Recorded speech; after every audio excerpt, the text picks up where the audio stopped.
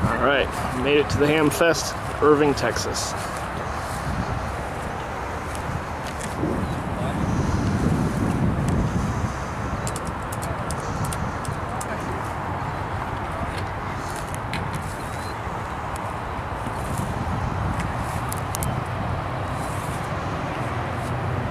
Got a nice view of what could be downtown here, possibly.